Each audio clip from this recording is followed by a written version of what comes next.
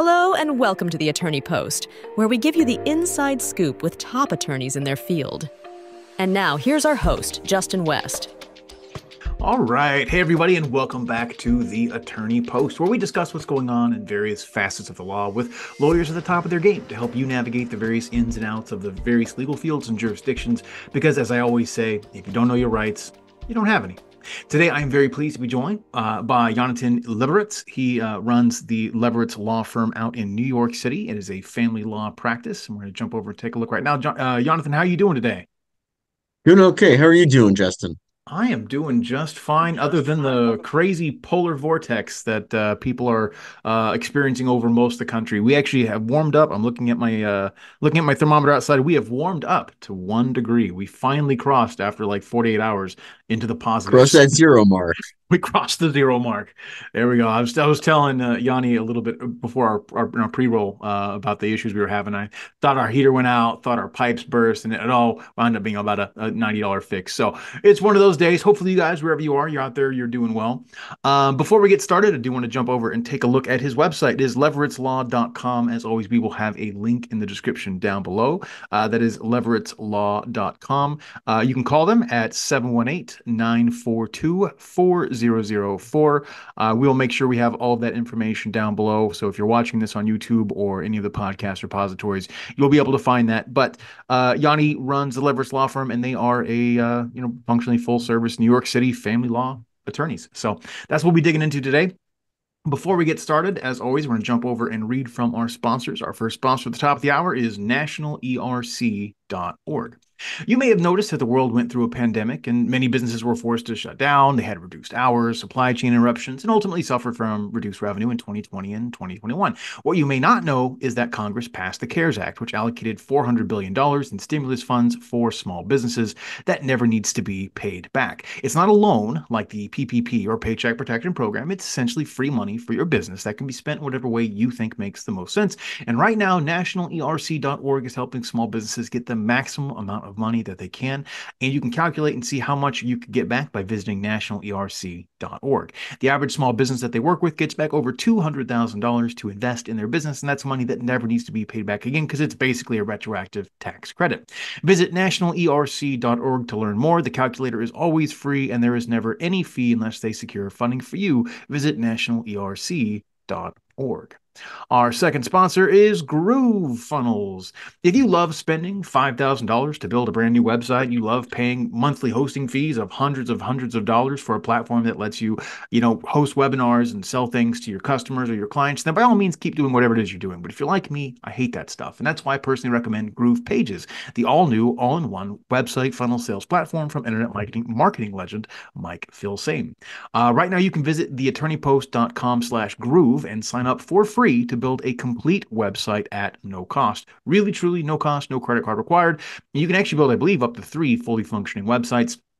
They have a huge list of apps on their website that basically makes it a Swiss Army knife to do anything you want it to do, from being a webinar platform, a sales funnel platform, website, blog, uh, as well as an affiliate program. Basically, if you can imagine, you can build it and you can get started completely for free. Visit theattorneypost.com slash groove. All right, there we go. Well, uh, again, I am joined by Jonathan uh, Levoritz. Uh, he goes by Yoni, uh, which is uh, is that the Hebrew or Yiddish version of, of Jonathan, I believe, uh, Jonathan? Hebrew version. Either you, Hebrew version. Uh, and he is a yes. pretty prominent figure, I think, in uh, the legal community in New York City.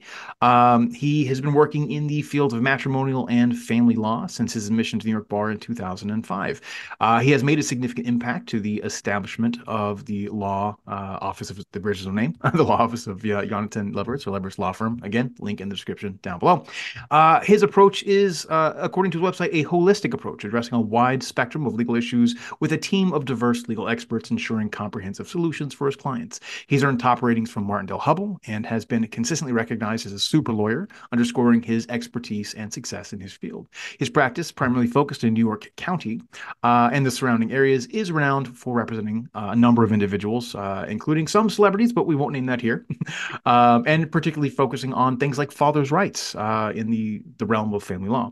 Uh, his commitment extends beyond his legal practice. He has contributed to various legal publications and he's actively involved in in various prestigious legal legal associations as well. Uh, his combination, his very unique combination of experience in business, civil law, and security trading provides him with invaluable insights, further enhancing his ability to achieve success and outcomes for his clients. That was kind of a mouthful, but I'm sure I missed a lot uh, in that brief little overview. So my first question to you, Yoni, is what did I miss? Well, basically, it's not a matter of what you missed. It's a matter of the fact that uh, it's a lot more in terms of the description of what the firm does. When you say holistic, what exactly does that mean when it comes down to a divorce firm? Okay. So there are many times in divorces where people go ahead and do somewhat foolish things, such as transfer money to other people, uh, their father, their mother, their brother, their sister. Um, uh, transferring property, transferring shares, transferring uh, businesses. Um, well, that's called a fraudulent conveyance because you're about to go through a lawsuit and you're about to go through other proceedings. That's something that we would handle. Now, if you're just thinking about a divorce and you're just on shaky ground with your spouse, there are issues like postnuptial agreements. And of course, you know, before you get married, there are prenuptial agreements, which fall into the realm of contract law. And then, of course, we've got other issues such as asset protection. You know, sometimes it pays to go ahead and protect your assets and try and develop trusts and trust funds and other types of, um, you know, uh, uh, legal uh, maneuvers to go ahead and work with your spouse to a certain extent to go ahead and protect assets and to go ahead and protect those assets from lawsuits from creditors or even to protect them from a future divorce litigation okay which is also possible Okay, now I don't handle that particular part of the work. We have Ravi Patel, okay, who handles that. But uh, in general, these are different maneuvers that are possible when you're talking about a holistic divorce firm. When you're talking about someone who's going to come in there, who's going to deal with someone who's hiding cash. I mean, I can't tell you how many businesses go ahead and uh, pay people off the books or pay people uh, uh, in general just to uh, you know uh, not show up for work or to show up for work at the wrong times or the wrong places. And these are the types of things that we can look into whether it's through a lifestyle analysis through a forensic accountant or whether it be through just uh, back tracing the actual inventory that was purchased by the business. So wow we do a lot of different things. We're part private investigator, part divorce lawyer firm. A forensic divorce attorney. or something to a certain extent, yes. That's fascinating. I've never really seen that. Well, you sort of gave it to me already, but but give me your pitch if I didn't know anything about you. Why do people choose your firm over other firms? What do you guys do? Uh, you know, you're holistic. Obviously, you you delve into things a little bit like right here. But but if I didn't know you, give me your give me a thirty second pitch. We care unlike other divorce firms where they're looking at numbers strictly we actually we care whether we win or we lose. We care about the result that we can produce for a client. There are times when we tell clients listen this is just not going to work out for you and listen we have to cut our losses. Um, we look at uh, basically you know the cost benefit analysis of moving forward uh, with the uh, process itself. Um, you know, which is something that uh, I don't think a lot of divorce lawyers do, or a lot of lawyers do. Gotcha, gotcha. So, so well, you've been practicing. You've been you've you passed the bar in New York in 2005. So we are going on year 19 right now. Uh, so almost two decades of of serving in New York. What got you into law, and what in particular got you into family law? My divorce, uh, like uh, many other people who end up in this situation, I was actually sitting on the client side of the table 20 years ago, 25 years ago. Um, you know, and uh, by litigating custody with my lawyer and litigating child support with my lawyer and or, or, lawyers, you know, I mean the average person goes through two to five lawyers, I would say, between, you know, their first lawyer through their fifth lawyer in terms of uh, you know, not getting along with their lawyer, not agreeing with their lawyer, uh, personality conflicts, so on and so forth. Um, you, I, I basically just fell into it. I mean, there was a time where, you know, it's it's all I did. It's all I knew because my life, to a certain extent, was dedicated to my case and to my child and to uh, my life. Hmm. So that's what got me into it. Okay. Uh, so you just decided to take the bar, pass it, and become an attorney because of your your struggle. I I've not heard a lot of people mention the statistics on how many attorneys somebody goes through in the process of finding a, a divorce attorney, a custody attorney, et cetera. Um, and, and you think the number sometimes as high as four, five, six attorneys? Is that is that Sure. common or that's crazy? I've never I've would say, never encountered that. I, I would say the average is two to three on uh, for sure. I mean, um, people start off with one lawyer, they're not happy, they move on to the second. By time you're number lawyer number three, you figure that there's going to be a lawyer number four, five, and six. I mean, it's just the way it happens. Because at some point in time, it's really not the lawyers that are at issue, it's the clients that are at issue. So clients are not getting along with their lawyers, or they're just having a bad result as a based upon the system. Gotcha. Um, whether it be judge, whether it be adversary, whether it be better facts on the other side, whether it be their expectations are too high. Gotcha. Okay, so they people go through multiple lawyers. How do you manage client expectations? What do you what do you do when someone comes into your office and you know they want the moon and and and then some? Me personally, I try and explain it and talk them back from the ledge. I try and explain the situation in general and explain that there are so many moving pieces to this system. You can't have expectations that are too high because you've got a judge, you've got a judge's law secretary who's going to be involved in the case. You've got an adversary who's going to be involved in the case. If you have children, there's probably going to be an attorney for the children or child involved in the case. And then there's you. Okay, you're the attorney. So then you have at least five moving pieces, okay, to keep track of at any given point in time. Then, if you start getting in deep into the litigation, you'll have a forensic doctor possibly involved with the children, and then you'll have a forensic accountant possibly involved in business valuations. You're looking at seven people uh, in the average litigation that you have to deal with, manage their expectations, comply with their wishes, at the same time dealing with them and explaining to them the facts of the case from your client's perspective and backing that up with raw data. Raw data is a lot of the times the key to this. Many lawyers don't spend enough time sending out subpoenas, uh, getting at enough uh, demands for discovery and inspection to collect enough data to show why their client believes a certain thing, why they believe their husband or wife is earning cash, why they believe business deductions aren't good and valid. So, again, these are things that are coming into play. And if you can't prove them, well, then you end up with a situation where the client is going to be very disappointed because they believe it exists. Okay. And you have to manage that expectation beforehand and explain to them listen, if we can't prove the cash, what are we going to do? We're going to do a lifestyle analysis. So you move from front to front looking for the ability to prove the client's case. And sometimes you can, and sometimes you can't. What goes into a lifestyle analysis? Is that like looking at their spending habits, looking at, um, you know, if they're, like, I, I honestly, I'm just not even sure about that. I'm sure some people would have questions. What, what is a lifestyle analysis and how does that play into helping them? Well, uh, I'll take an example. A person drives a Porsche Mercedes, lives in a $1.5 million home, but claims on their tax returns that they're making uh, $125,000 a year. Well, they're obviously not making 125, right? But what are they making? What can we prove to a court? What can a court hang its hat on? We bring in a forensic accountant. The forensic accountant is going to look at the expenses and the costs and what it would take for them to live the lifestyle they're living. If they're on a jet set lifestyle, going to uh, Turks and Caicos seven times a year, going to the Middle East to travel around just for fun, then at that point in time, you're going to have a situation where you're going to be able to prove some of that spending, not all of it, okay, but some of it. The big pieces will be there for the forensic account. Hmm. That's interesting. I, I would imagine a lot of people don't do it because it's a lot of attorneys don't don't follow up with that because it's just a lot of work and they don't want to they don't want to do it. Uh, why why why else would an attorney not, if they're trying to represent the best interest of their clients, um, go to those lengths?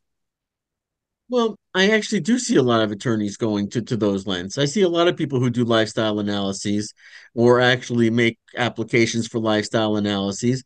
but a lot of them don't follow up with it because a lot of them don't realize the value of it. They keep thinking, you know, I'm going to prove the cash flow through the business. I'm going to prove the cash flow through the subpoena, through the American Express statement, or through just looking through bank statements. They don't realize that this tool is available and should be used more often. Gotcha. That's interesting. Um, well, let me ask you. I'm going to back up for a minute. I'm just kind of curious. I, have talked to a couple of uh, attorneys in New York City. One of my longest running clients actually is a, is in New York City, and I, one of the sponsors I read from at the top of the hour was nationalerc.org. They're helping businesses that went through COVID and whatnot. But obviously, as as a country, we just went through a pandemic. God willing, we're done with it, and it's not going to come back. But I'm curious, living in uh, in New York, how did the pandemic affect you, and how did it affect your firm? Did did you guys see a notable shuttering of you know not a lot of clients? Did you see a spike in clients because all of a sudden people were stuck living together? I found that so many different people have had so many different experiences. I'm always kind of curious about that. So if I can, um, how did how did the pandemic and, and the response to the pandemic affect you and your firm? At first the pandemic caused a lot of people to be uncertain in terms of being able to afford counsel and in terms of being able to afford um, the process of moving forward. But that was pre the PPP loans and pre the SBA loans and pre the you know CARE Act and and and pre you know all these different types of uh, uh, bills that came out okay to help people monetarily speaking.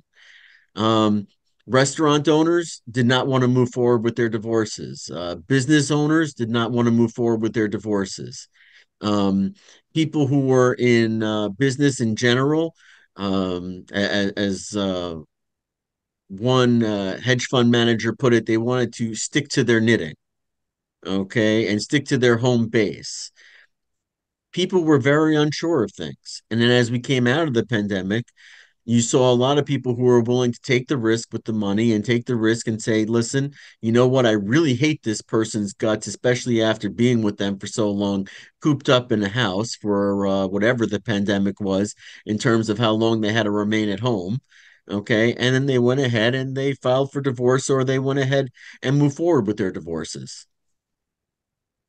That makes sense. But I mean, it business slowed down at first a lot and then it kind of just resumed normal. Because I, I have literally talked to um, a dozen two dozen three dozen different family law attorneys across the country and each one has a very different experience which i just find fascinating. A couple of them like no everyone tells you that divorce has skyrocketed but i found like they plummeted. Other people like no i've never been busier than during the pandemic and so it really seemed almost like it was a, a case by case basis. I have a, a couple of friends who are injury law uh, attorneys in new york city and uh, one of them he is in a building that on on a regular day sees over 80 90,000 people walk through its doors. And he said in the highlight of covid he had 150 people walk through that building uh, on a daily basis. Like it just it shut everything down. And to, to think of a city like New York City being so desolate just is uh is fascinating.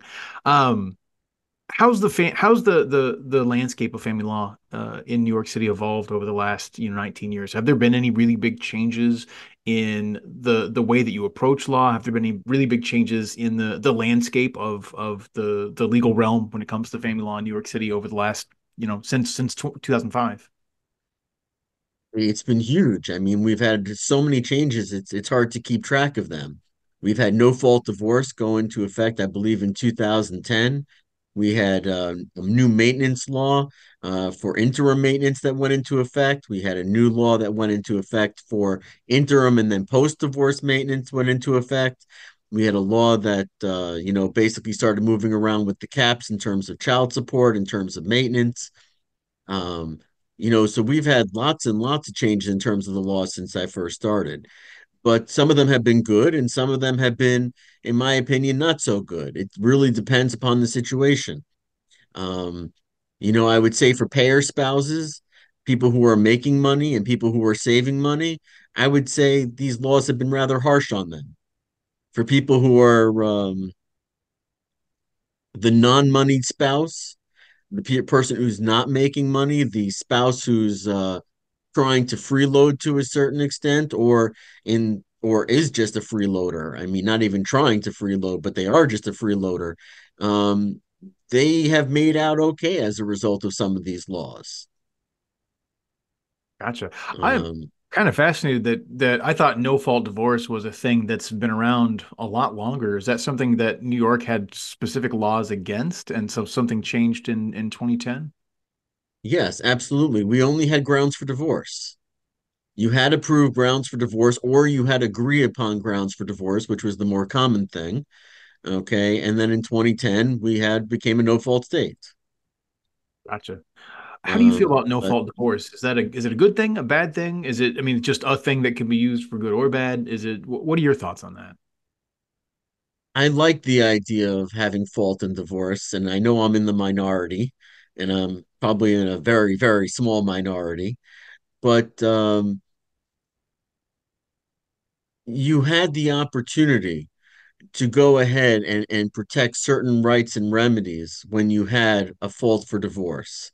And that's because, for example, the I, I deal with the large immigrant population in the Russian community, right? So the ability to go ahead and use the uh, grounds for divorce, which were more commonly accepted by judges then because they needed grounds for divorce in order to get people divorced.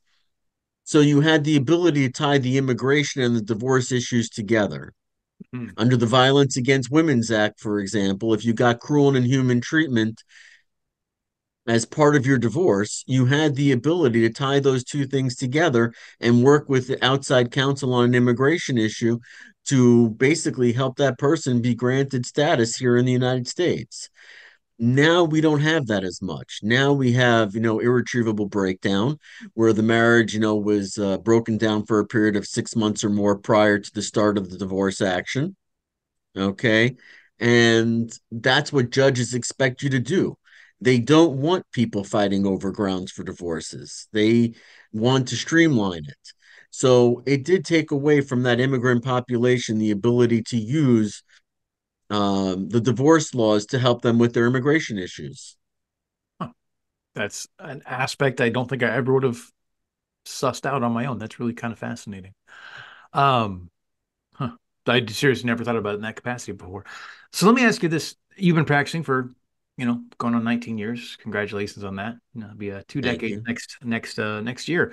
Um, I am sure in your experience of law, you have had probably some big wins and some things you're very proud of, but also some setbacks, some some things you would even consider to be a failure. Uh, my listeners know I'm a, I'm a firm believer that you know failure is only really failure if you fail to learn from it. Otherwise, it's it's a slow burn win. So, if you don't mind me asking, can you tell my listeners, Yoni, about a time in your practice of law where you failed, when you experienced something that might have felt like the, the world was ending at the moment, right? Um, but but what did you learn from it, and how do you how do you carry that forward to make sure that you're taking the best care of your clients moving moving forward? I think it goes back to about 2007. I suffered my, my biggest loss, in my opinion. I lost someone custody of their children. um, which I found to be absolutely devastating. I'd only been practicing for about two years. And instead of cutting a deal, which would have allowed the person to have um, more time with their children, even though they still would have lost custody, they would have gotten more time than what the judge gave them. Um, it, it was devastating. Um, I mean, the loss was horrible for the client, and the loss was horrible for me. Um, I mean, there was no way we were going to take custody, but we would have gotten probably closer to 50 50 if we cut a deal rather than uh, going to trial. And that was because I did not guide the client properly. I should have told the client, don't go to trial, settle this out, as opposed to trying to be nice to the client and saying, listen, I understand you want to go to trial, uh, but I think it's a really horrible idea. Now I just tell people the way it is. Um, then I, I was to a certain extent I, I wanted the client to feel I was doing whatever they wanted. Uh, but sometimes what a client wants is not necessarily what's good for a client. Gotcha. No, that makes perfect sense. I mean, you are there. That's you're you're you're the I don't use the word expert. I know that's a guarded term in the legal realm, but at the same time, you know that's that's what you are. You're you're the you're the Sherpa, right? You're there to guide them through the process and and know the path and and whatnot. So I think that's amazing. How do you how do you handle the negative emotional aspects that come along with family law, particularly you know insensitive cases that involve children? How do you how do you manage expectations um, when when children are at play, when there's you know domestic disputes, violence, etc. How how do you how do you personally manage that and how do you help your clients manage that? In terms of dealing with the clients you're really doing a lot of hand holding you're really just kind of trying to walk them through the process. You know what the factors are that the court's going to look at in terms of fostering the relationship uh, which parent is better at it you know which parent is going to provide a better lifestyle for the child or children you know the factors that a court is going to look at for the most part by looking at the case law. So you can coach them in terms of how to act, how to behave. Um, in terms of managing expectations, you basically tell them up front, you have no idea what's going to happen. And that's because there are too many moving parts. What happens if the attorney for the child comes in and sides with the father when you represent the mother? And she just doesn't like the mother well, that's an unforeseen thing for the most part when you're picking up a case. Okay. Or you have an attorney for the child who simply doesn't speak up in court. And the child is voicing one thing, and the attorney for the child is simply mute. They're they're just standing there. They're not voicing anything in court. So you have to explain to people that this is just an unknown entity with too many moving pieces and too many moving parts to guide them properly. We can teach you how to behave. We can walk you to the water, but we can't get you to actually drink it. Okay, it's it's it's a process. You have to go through it, and it's important to understand it, and you have to be educated in it. But on the flip side, there's no real knowing what's going to happen. It's simply too fluid. Um, I asked you a minute ago about one of your biggest failures, and uh, obviously, again, I think failure is a good teacher but I'm sure you've had a couple of really big wins as well, and probably a lot more wins, hopefully, than than failures. Um, but I'm sure there's one or two things that you've accomplished in your your 19 years that you're particularly proud of. Can you can you share with our listeners, Yoni, you know, one or two of the things that you're just most, you know, when you go to bed at night, that's the the thing that you think about as you're falling asleep, or the the feather in your cap, so to speak. Well, I, I, am proud of what we've done in terms of uh, criminal cases on behalf of our clients, in terms of the number of times that we've had clients found not guilty of violating orders of protection and things of that sort. But if we're asking about feather in the cap, I would say one of my best moments, okay, as an attorney was when we had a jury trial on a postnuptial agreement for violating a confidentiality provision, and the jury came back with uh, zero dollars in damages, and the court awarded one dollar in damages when the claim for damages was in the millions and millions and millions of dollars. So, and it was, you know, a hedge fund manager against his ex-wife, and you know, basically what it came down to was that she badmouthed him in the media and violated the confidentiality provision um, uh, and this is based upon the court record, not based upon you know what what actually you know transpired in the case. I guess you'd say, but um, it was just very interesting. And and the bottom line is the the jury saw it for saw it for what it was. It was a case where they couldn't prove any damages, and it was just impossible to show. It was completely speculative in nature.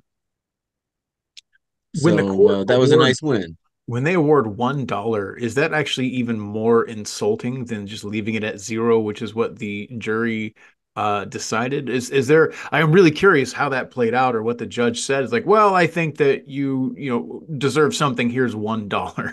How does that play out? You know, it plays out in a very interesting way because you got to remember, without damages, you don't have a cause of action for breach of contract. So if they don't have a cause of action for breach of contract, they couldn't seek their legal fees in the other part of the contract. So the judge did them a huge favor by giving them the one dollar as nominal damages, so that that way they can go ahead and seek counsel fees.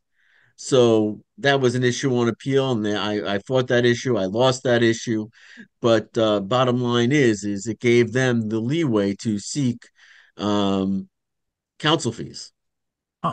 Okay, that's interesting, and I guess a little unfortunate, but nevertheless, it's it's it still must have made at least in the moment kind of a. It, to me, it sounds like it would play out almost like a sitcom and just have been hilarious, but no, maybe not. I'm I'm not a legal expert myself, um, um, so that is what it is. It, it it saved it saved their cause of action for for breach of contract. Gotcha. Well, uh, you know, hopefully in the end, justice was served in some capacity that almost feels like this could answer the next question, but I'm sure you've also dealt with absurdities, things that just like you you can't believe it's happening the way it's happening. Or you know if i told you this was happening if i wrote this into a book you'd think this was the most made up thing ever. Have you encountered in your practice of law um, anything that was just particularly absurd that just made you take a step back and go why is this even happening? Or what in the world is going on here? This is just just crazy well, yeah, I mean, even the other case that I just referenced to. I mean, he had a ton of lawyers. Uh, he's a rich hedge fund manager. He has to see that he doesn't even have an expert that's willing to say, these are my damages. Okay. He can't quantify them. I mean, so it's an unbelievable prospect. You know, why are you even bothering to go to trial? I mean, why are you bothering with any of this except for spite or malice? Um, you know, we see that in custody cases all the time too. Like, why is the judge not seeing my good dad or my good mom for who are, you know, what she is? You know, why are they seeing this person in a negative light? Um, and you find those things to be absurd as well. I mean, you just don't understand them, but that's part of the fluidity of the litigation process. Sometimes people just don't like other people. We all work through psychological filters and those psychological filters dictate to a certain extent how, why, and what we see in this world. Have you ever had almost the opposite of that happen where you're working with someone in the process of their divorce and you help them somehow reconcile and they decide to not go through with the process after all? Does that does that happen uh, frequently or or almost never at all? We've had reconciliation sure um, they normally don't work. I mean, they normally don't only last a couple of months, maybe a year. Um, you know, they're not long lasting prospects. You know, once you've uh, slung mud at each other in a courtroom, uh, it's difficult to reconcile. Um, but we've had a few of them.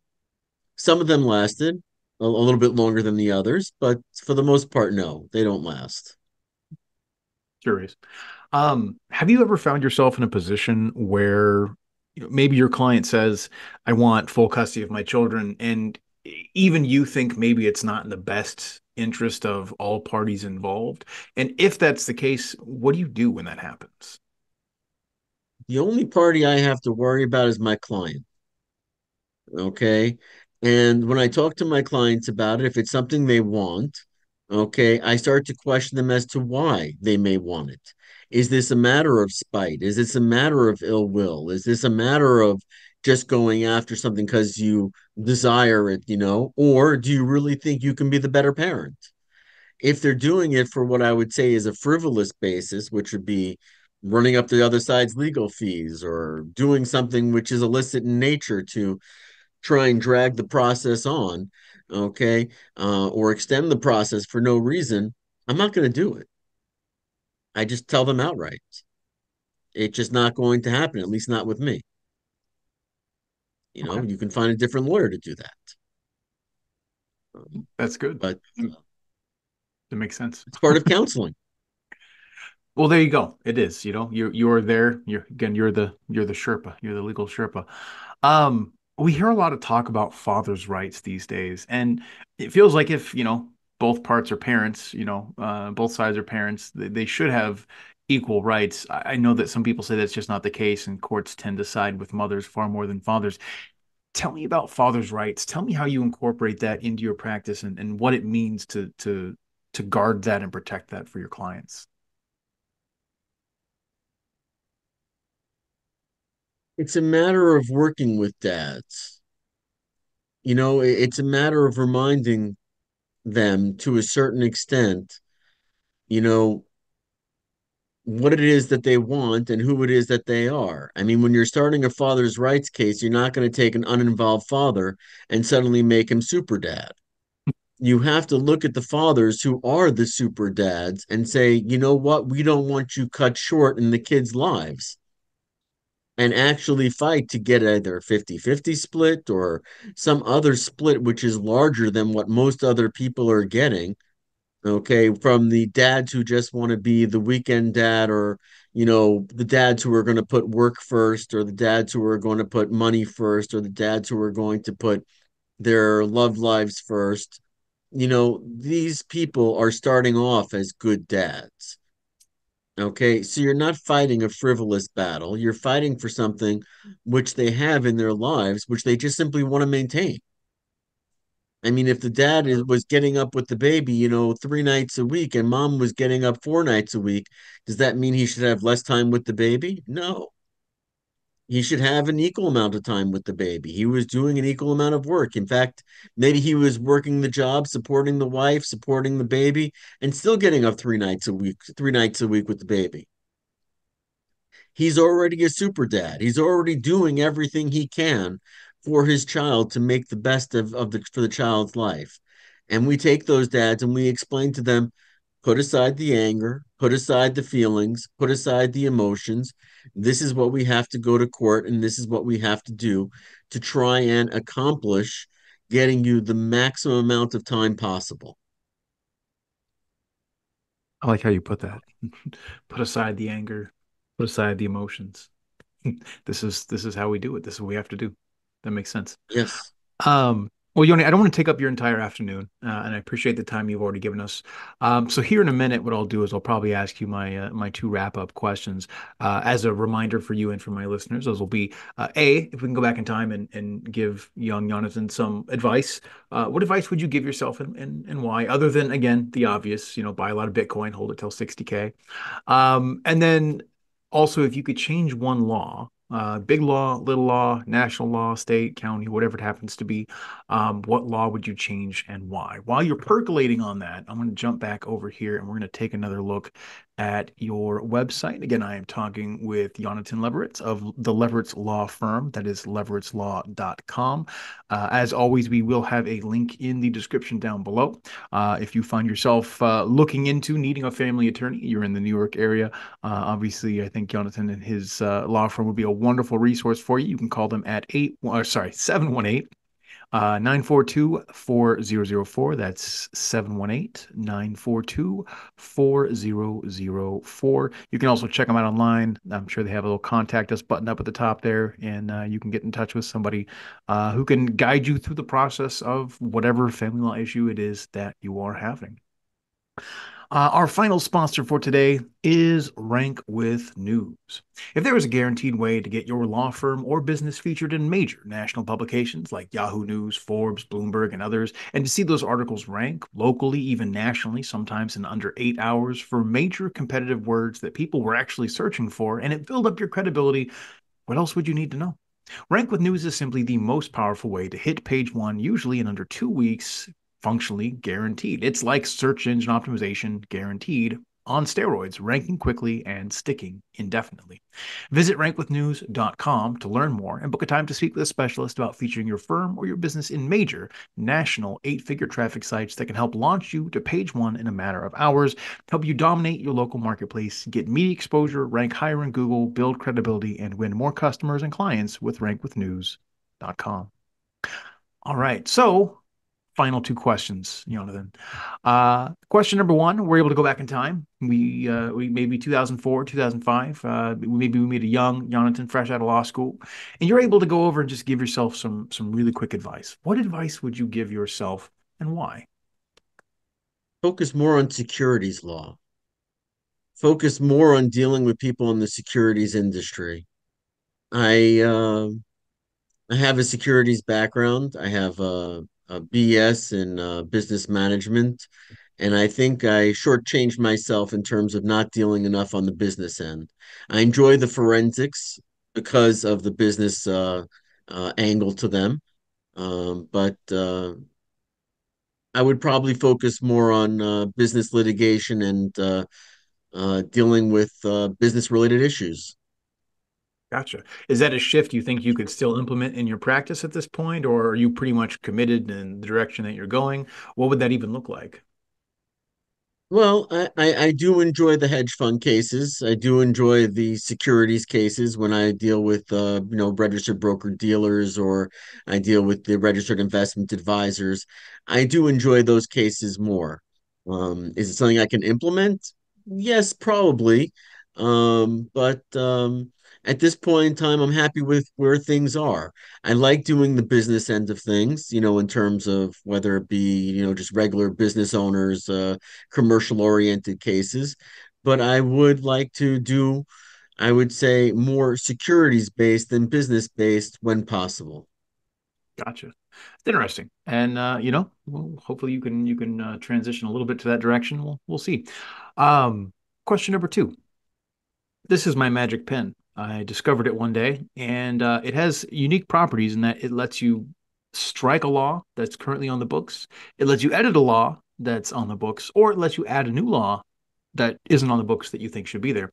If I were to loan you my magical pen, Yoni, and you were able to make one change, again, adding, subtracting, or, or editing a law that's on the books, big law, little law, major ramifications, just minor annoyance, what law would you change and why? Think I would change the spousal support and child support laws to include state and local taxes. The state and local tax burdens have been increasing. We no longer get to deduct, you know, real estate taxes and other taxes, you know, as a result of the uh, uh, SALT provisions uh, that uh, President Trump put into place with regard to state and local taxes, you know, being deductible. Um, we no longer get to deduct maintenance as an expense, you know, that the other person has to pay taxes on. Um, the tax burden is heavier on citizens in general. Inflation has taken a huge chunk out of uh, people's income. Uh, it's difficult to go to the grocery store and actually get a full order for less than two hundred or three hundred dollars, and we're all suffering on that front. Uh, gas has come down a little bit, but not a lot. And I think that in general, people are paying too much uh, for certain types of support, and that other people have to make greater contributions. There have to be, there are too many unequal marriages. Let me put it that way. There, there are marriages where you know you're each making let's say 150 we're okay fine whatever you know you can kind of even things out to a certain extent. But when you have these marriages where people are making five six seven hundred thousand dollars and the other side is making thirty thousand or forty thousand dollars the amount of support that they're paying from their net paycheck is just so high it's prohibitive in nature. Hmm. so that's where i would modify the law if everything was up to me, of course, which is not.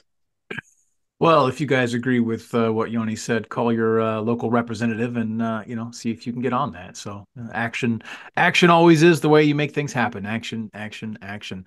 Well, uh, Jonathan, I, I want to thank you for taking the time to talk with me and, and my listeners today. I've enjoyed the conversation, learned a couple of things. My, my favorite conversations are always the ones where I learn something or I, I kind of reframe how I look at something, um, and and so I always appreciate that.